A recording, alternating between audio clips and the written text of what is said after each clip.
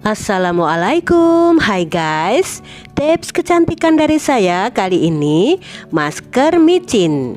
Cara membuatnya gampang dan hasilnya wajah menjadi putih bersih glowing.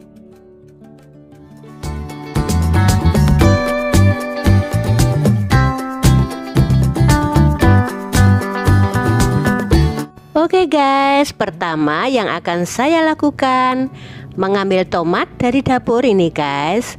Saya hanya menggunakan separuh saja. Kemudian ini saya parut. Tomat ini sangat bagus sekali melembabkan kulit anti aging mengurangi jerawat dan mencerahkan wajah.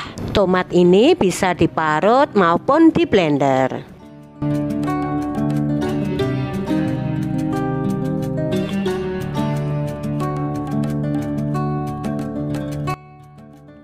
Inilah hasil parutan tomatnya. Kemudian sisihkan terlebih dahulu. Kemudian siapkan wadah yang lain. Ini saya ambil bumbu dapur yaitu micin guys, Ajinomoto. Teman-teman bisa menggunakan merek apa saja.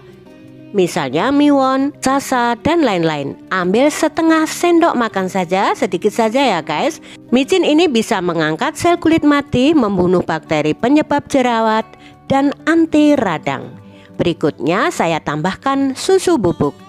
Saya menggunakan susu denkau. Ambil satu sendok teh saja, kemudian tambahkan tomat yang sudah diparut. Selanjutnya, bahan-bahan ini akan saya aduk hingga tercampur dengan baik.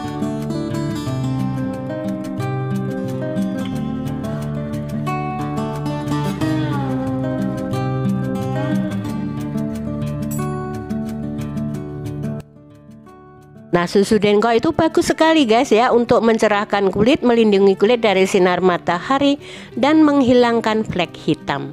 Nah seperti ini kira-kira guys kalau sudah tercampur kemudian akan saya tambahkan satu bahan lagi ya guys. Kalau yang ini opsional ya madu ini tapi ini sangat bagus sekali ya untuk wajah guys. Ini akan saya tambahkan karena madu ini bisa mencegah penuaan secara dini, memutihkan wajah dan mengatasi jerawat setengah sendok teh saja kemudian ini saya aduk biar bahan-bahan ini dapat tercampur dengan sempurna. Gampang sekali ya guys. Tips kecantikan alami menggunakan bahan-bahan yang ada di sekitar kita.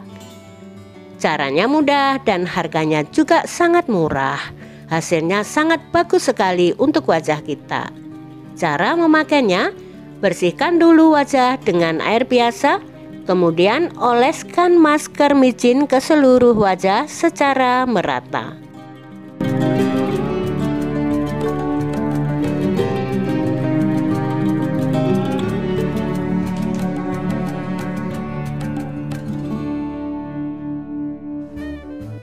Lakukan penggunaan masker micin ini dua atau tiga kali seminggu.